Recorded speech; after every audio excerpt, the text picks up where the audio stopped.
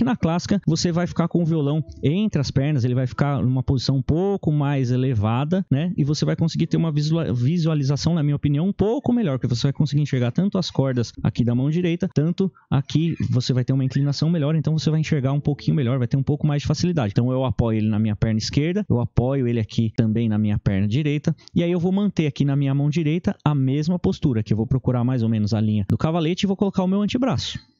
Coloquei o antebraço, soltei. Lembra de nunca colocar o braço, vai ficar mais difícil ainda. Nessa posição, você pode até inclinar um pouquinho o violão e encostar ele no seu peito. Tá vendo? E aí ele vai ficar até um pouquinho inclinado, você vai conseguir enxergar melhor aqui as cordas e a boca do violão. Você pode até fazer isso, ou assim, ou encostar em você se você sentir mais segurança. Claro que não é para deitar o violão, cuidado para não deitar o violão, aí já tá errado. Então, é uma pequena inclinação. E aí eu vou colocar aqui o meu antebraço.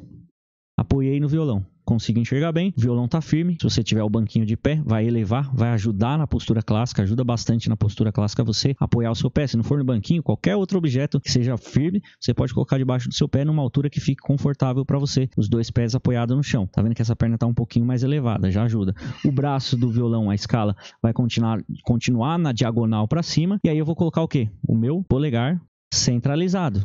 Na mão esquerda, a mesma coisa. Então, ó, relaxa os ombros, tá vendo que minha mão direita ficou na boca do violão, a mão esquerda, o polegar aqui centralizado. Lembra de criar esse espacinho aqui debaixo da mão. Nunca subir tanto o dedo, nunca descer tanto o dedo, apesar dele ser móvel, ele vai para um lado, ele vai para outro, ele sobe um pouquinho, desce um pouquinho, dependendo da nota e do acorde que você vai tocar. Já vou dar até alguns exemplos. Então, centralizei, faço a curvinha com a mão e toco as notinhas com a ponta dos dedos, tá vendo? Com a pontinha dos dedos é que eu vou apertar a corda. E aí eu vou fazer essa pressão entre o polegar de apoio e cada um desses dedos da mão esquerda, dedo 1, 2, 3 e 4. Eu vou apoiar, fazer a pressão, né?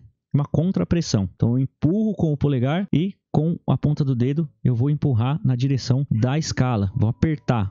Polegar eu empurro e com a ponta do dedo eu aperto. Desse jeito eu consigo tirar as notas, o som das notas.